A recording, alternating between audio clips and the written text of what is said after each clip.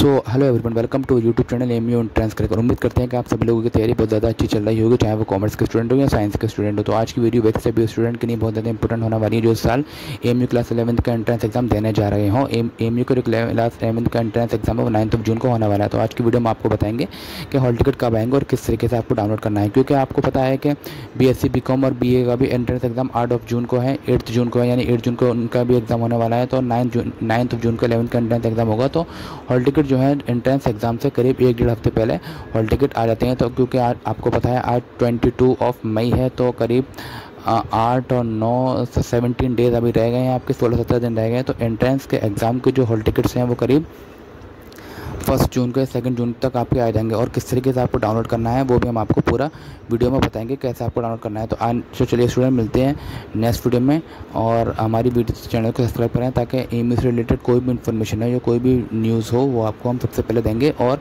M class eleventh का जो entrance exam होगा नाइन्थ ऑफ़ जून को, उसकी जो आंसर की होगी, सबसे पहले आपको हमारे चैनल पर देखने को मिलेगी और कट ऑफ़ भी हम आपके सामने डिस्कस करेंगे। आप बस चैनल को सब्सक्राइब कर लें, चलती चलती दोस्तों, मिलते हैं नेक्स्ट वीडियो में तक नहीं बाय बाय टेक केयर।